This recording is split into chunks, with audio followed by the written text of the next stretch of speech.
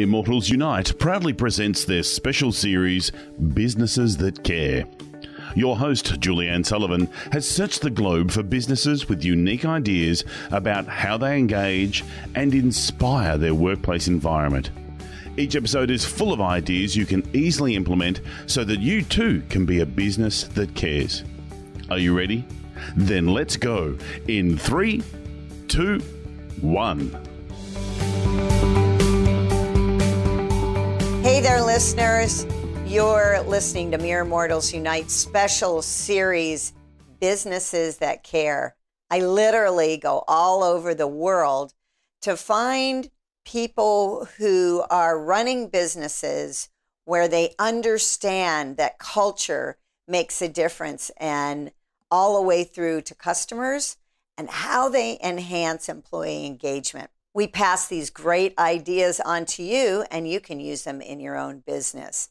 Today, I'm really excited because I have my second and hopefully not my last international guest, all the way from Edinburgh, Scotland.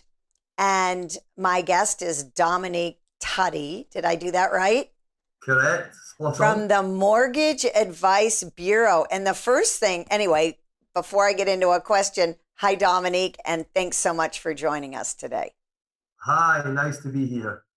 So, Dominique is the directing manager of Mortgage Advice Bureau, which I found to be very interesting. What does a mortgage advice bureau do? So, we essentially, in, in, in the UK, I'm not sure if it's the same in the US, but in the UK, we, we, uh, we advise and we source and we arrange mortgages for our, our clients. Uh, you know, we deal with everybody from people buying their first home to a remortgage client, perhaps an investment property or a holiday home, and we essentially advise them, and then we uh, we, we we source products through some fancy sourcing systems, and we uh, advise our clients on, on, which lender is the best would be the best uh, lender to, to go with, and we then essentially arrange that mortgage for uh, for that that client.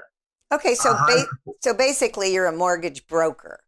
Correct. That's exactly what we are. yeah, you're a mortgage broker, but it sounds like yeah. so you collect the information and then you find the best mortgage. Now, this is very interesting to me because a lot of times, certain industries we don't think of them really caring about their employees as much as other businesses.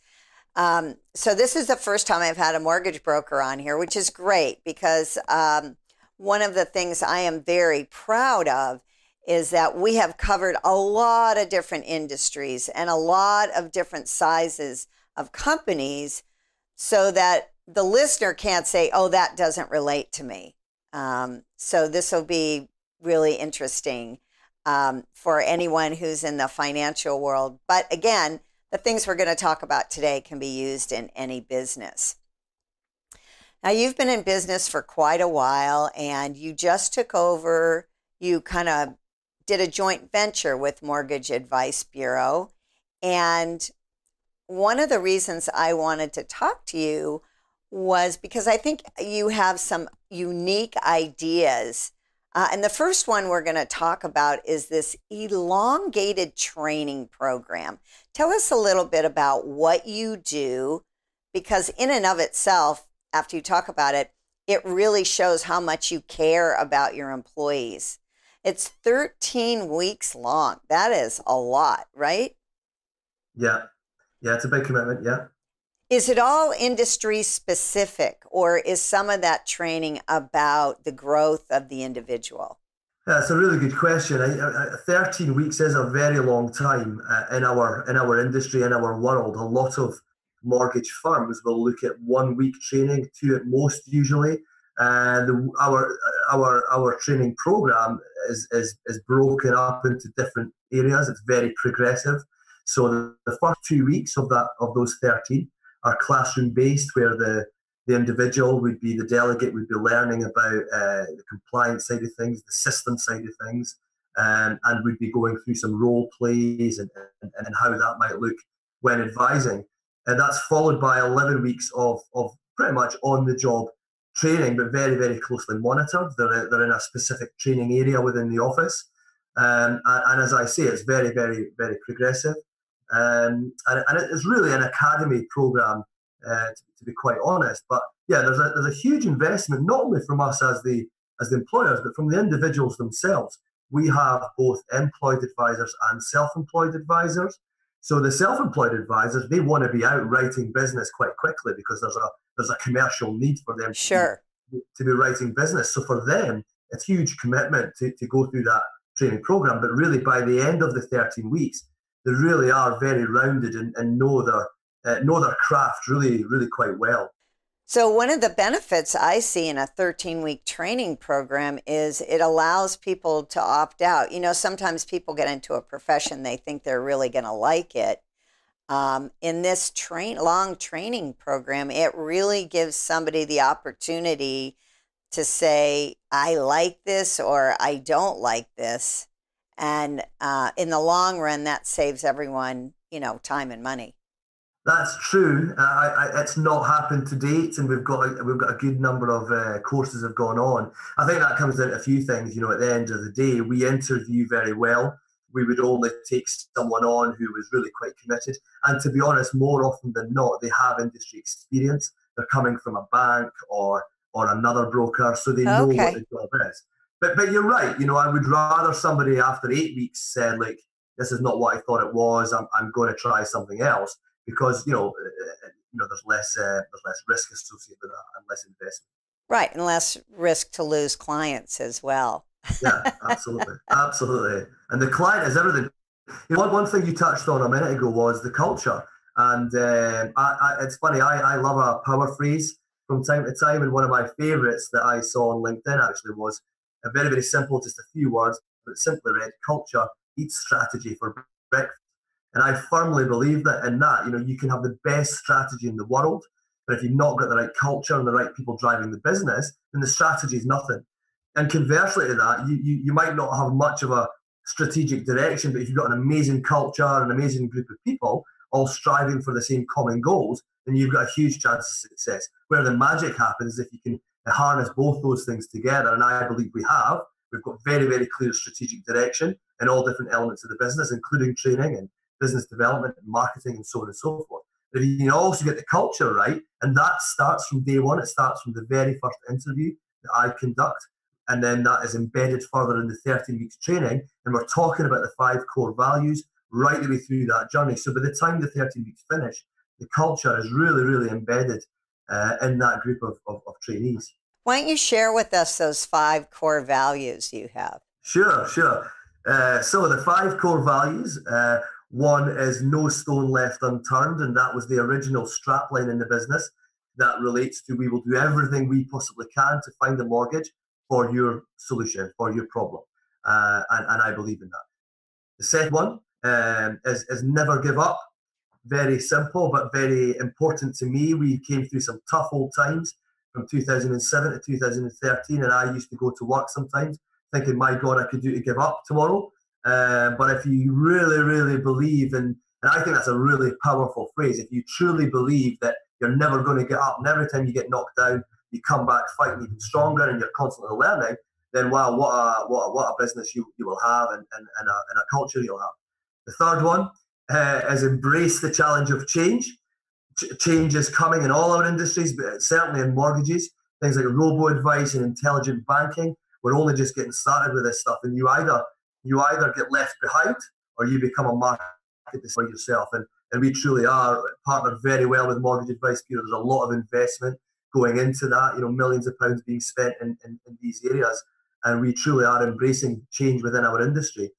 Um, the fourth one is uh, striving for perfection in everything we do. That middle management term of what does good look like, I, I, I don't particularly like. You know, let's not be good, let's not accept mediocrity. Let's strive for for perfection. Of course, perfection is arbitrary. It's a matter of opinion often, but um, you know, if, if, if, if you can strive for perfection in every little thing you do, whether that's how we interview people or how the office looks or or how the canteen looks or all of these things, if we can be as perfect as we can be, then wow, what an awesome business we will have.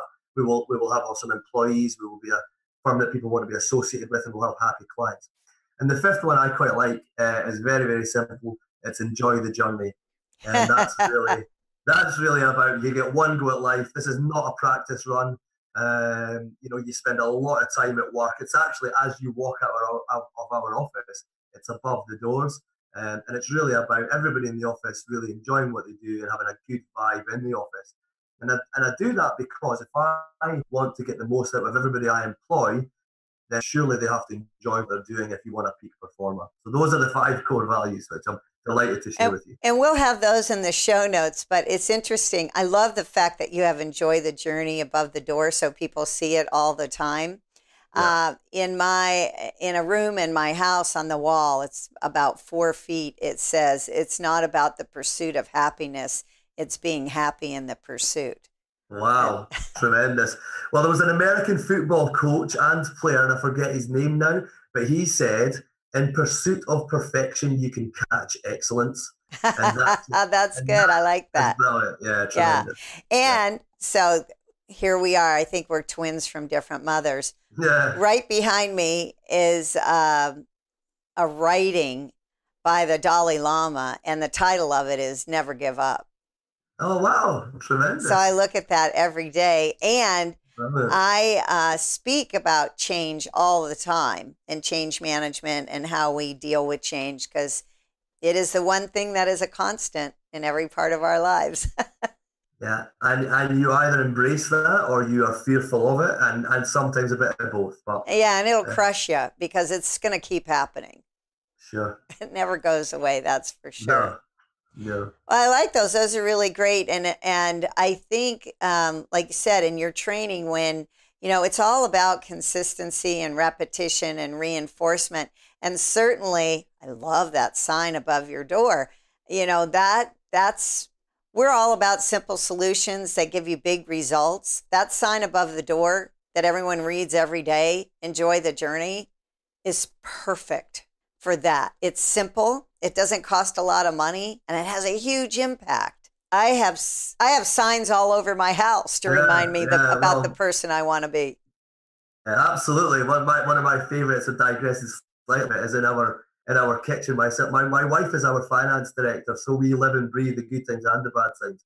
And we like to work hard and we like to have fun as well. And in our kitchen it says, work like a captain, play like a pirate. And that just What's it say again? Brilliant.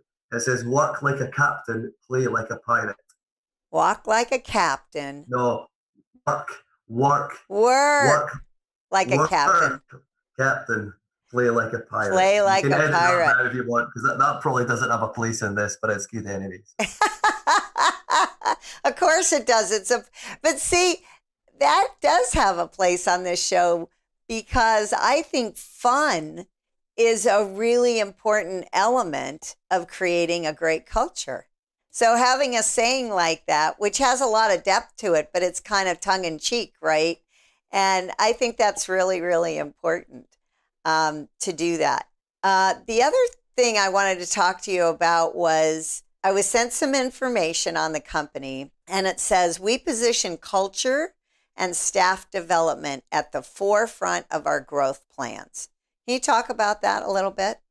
Yeah, so I mean, we've talked quite a little bit about culture and how we try and embed the best practices and what that potentially means to our, our clients and our introducers and associates and that's that's vital. Uh, the second part of that, I think, is is around staff development, staff engagement. Uh, we so yeah, we, we I'm a big believer in that stuff. You know, I, I one of one of one of little piece of work I did was was a, a talk on hire then inspire, and it was about hiring the very best people I could find to do the job I needed done, whether it was in marketing or sales or admin, and then fundamentally in, inspiring them to be the best they could possibly be. And there's a few different beliefs around that, but you know, it's not just about it's not just about money. It's not just about uh, recognition. It's it's a combination of, of lots of the things. And one of the biggest things that that, that, that most people look for in, in any job opportunity, I believe, is, is career progression and, and personal development and, and, and all these things that, that, that go with it. We are extremely proud of the fact that we've we had in excess of I think 12 or 13 promotions last year within the business. So we we always look to internally promote uh, first. We had one instance where a guy was promoted five times within the space of 14 months.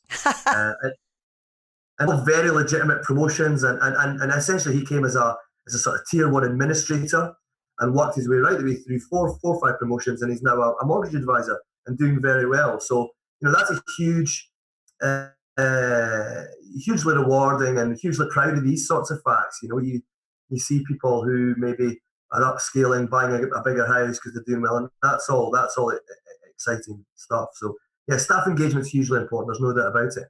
We did a, a an internal staff survey uh, not that long ago, and we looked at staff engagement and what you know what people were looking for. We recently introduced private medical care for all of our staff, and just little things like we now provide free fruit uh, to, to, the whole team, and, and free what? Free fruit, bananas. Oh, great. You know, okay. Yep. Accent. Scottish accent. Is, yeah, I know, I know. It's you know, Sorry. people are probably going, I understand them, but just in case, I'm asking where I don't know. Yeah, yeah, yeah, yeah. yeah. Uh, so you know, things like walking club, and and so we're doing lots and lots of stuff around that as well. And and I see you also do a lot of charity work as a as a team. Yeah, yeah, absolutely. You know, uh, we we engage in lots of different things throughout the year. We are heavily involved with the the, the, the Ministry of Defence. Uh, we, we every year we have we choose two charities to support. Um, this year is a, is a friend of mine and a Scottish international uh, rugby star by the name of Doddie Weir, uh, who has, has uh, he's raising money for motor neuron disease, uh, and we have a, a, a charity a cancer charity this year as well. So we actually have a charity and social committee, and it's these guys' job to. I know. I like that. I like that and organised all the nights out, the pub quizzes, and all these things as well.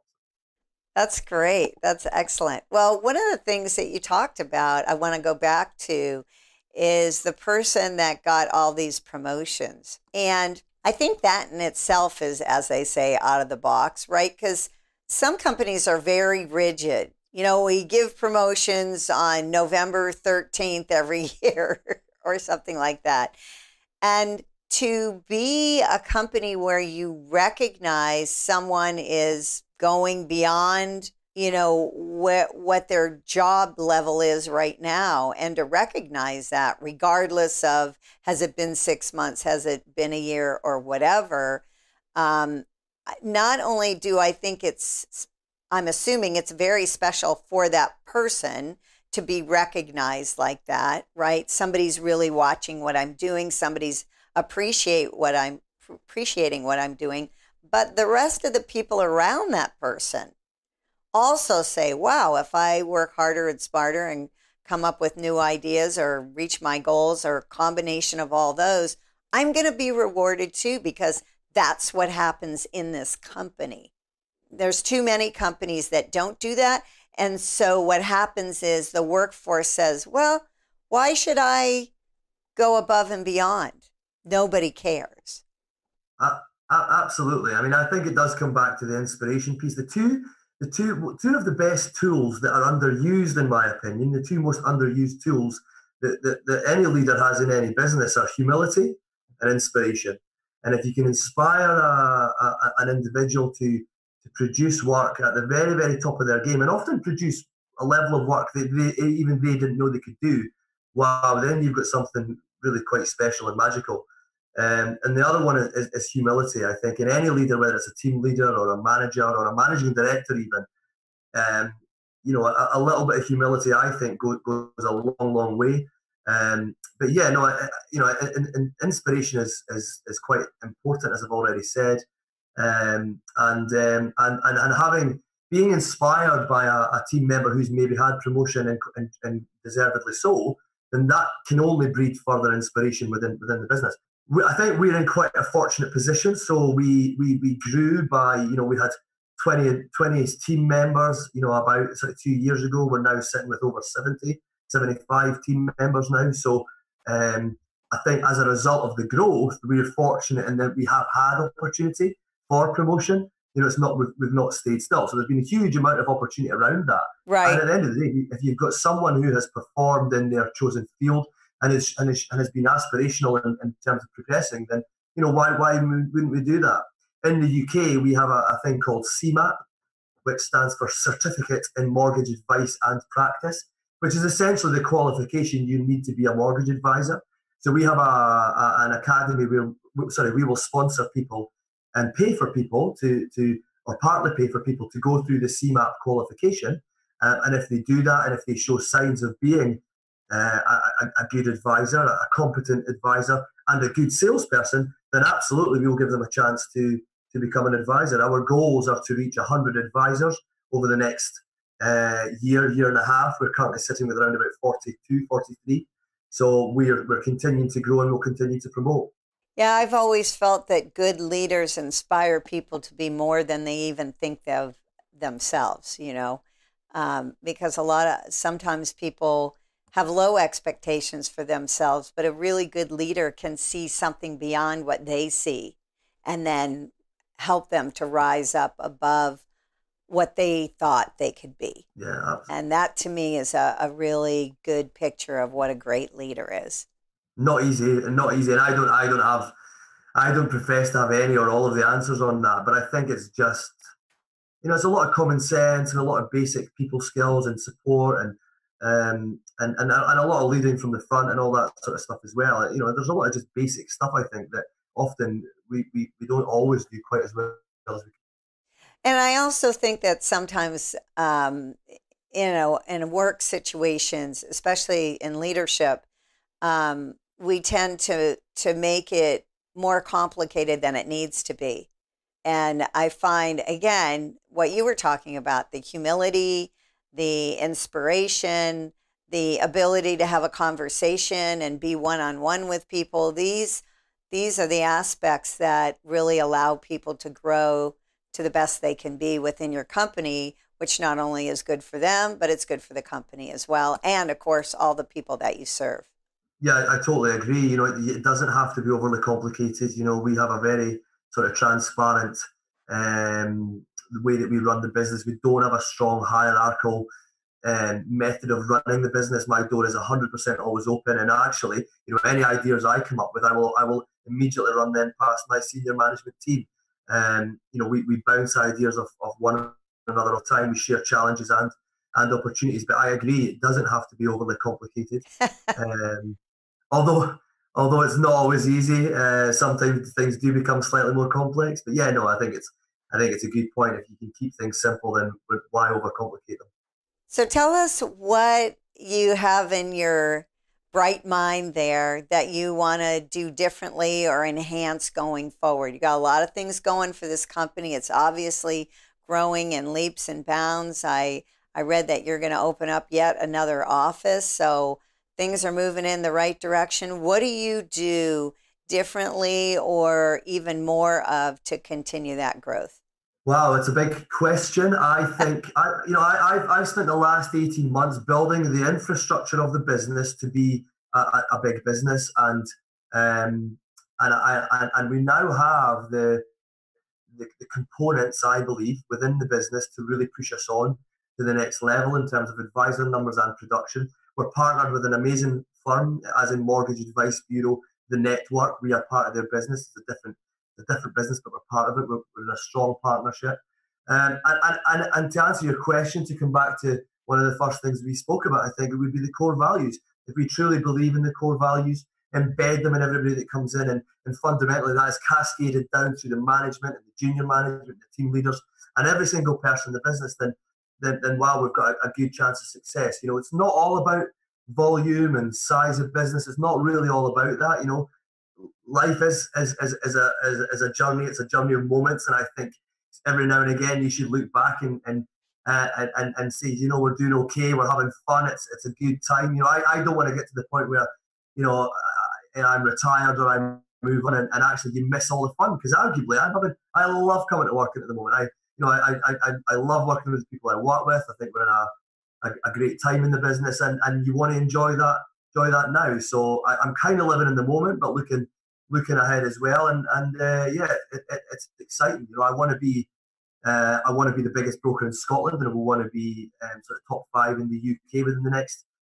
couple of years. And and and and if we continue how we go, then who knows? We we, we could well achieve that. Yeah, I, I, I totally agree. I think that there is at some point you need that mixture of, like you said, having plans and being in the moment. And I think you can do both. Yeah, yeah, yeah. Well, you don't want to look back to you and go, oh, sugar, that was fun. I missed it. So, yeah. well, this was fun too, and I did not miss it. So thank you so much, Dominique, for being with us on Businesses That Care today. I really appreciate you taking the time and juggling the times between Scotland and Pennsylvania so that we could do this. Thanks again. Julie Ann, this is only my second ever podcast, and I've never done a transatlantic one, so I've had great fun too. Thank you so much for inviting me on, um, and hopefully, I've, I've, I've given maybe one or two little nuggets. I hope. I'm sure you have, and again, we'll have them in the show notes. Uh, please subscribe to Mere Mortals Unite podcast. This is a special series, Businesses That Care. You can subscribe to the podcast so you'll never miss another great episode on iTunes, Google Play, Podbean, and we have all those links in the show notes. Anywhere you listen to podcasts, you can follow us and subscribe so you'll get the next um, episode. It's been a pleasure having you with me today, my listeners. Without you, this is nothing. so go out and have yourself a great day. And remember, simple solutions can give you big results. Thanks for listening to Businesses That Care. Share it with your friends and colleagues. To learn more about Julie Ann Sullivan, this podcast, and receive free and valuable information, go to julieannsullivan.com or meremortalsunite.com. We look forward to the pleasure of your company next time.